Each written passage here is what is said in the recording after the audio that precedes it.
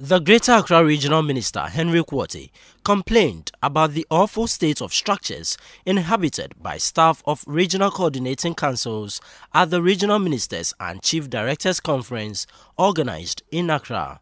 He said due to the inadequate funds allocated to the councils, they are unable to undertake rehabilitation works on them. Funding of our activities has been dwindling considering the demands on the RCCs. Our office buildings are collapsing. Our office buildings are collapsing. And our residences are nothing to write home about. Something needs to be done quickly to avert any danger to lives and properties. The Chief of Staff, Akosua Frema Osei-Opare, assured the regional ministers of government's commitment towards improving the conditions of the regional coordinating councils. Let me assure you, in, uh, also on behalf of the Minister for Local Government,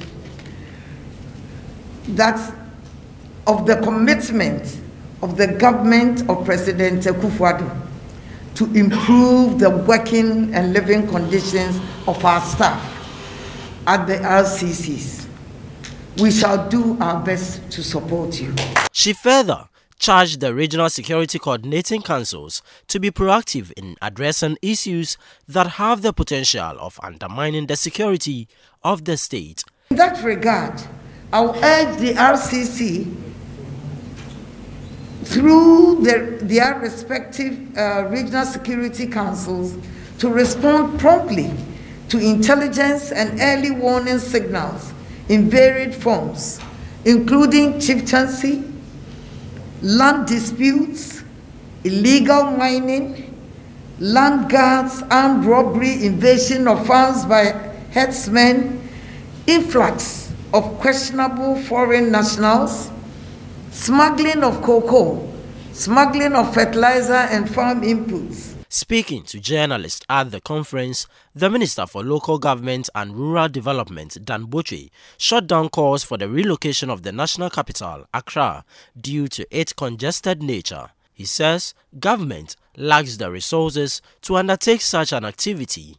Now that we have such expanded service with leadership, well trained, well motivated, capacity built, we should be able to deliver to the aspirations of the people. We, I do not think what's the most concern now is moving capital. It's so, it costs so much. In an interview with Citi News, the head of local government service, Dr. Nana Ato Arthur, asked the relevant state institutions to prosecute officials of the various metropolitan, municipal and district assemblies indicted in the Auditor General's report for misappropriation of funds. The 2019 Auditor General's report on the performance of MMDAs revealed that over 800,000 Ghana cedis was paid to contractors for no work done. Dr. Ato Arthur says there must be consequences for such wrongdoings legally to serve as a deterrent. That is unfortunate. The man will take it to be criminal.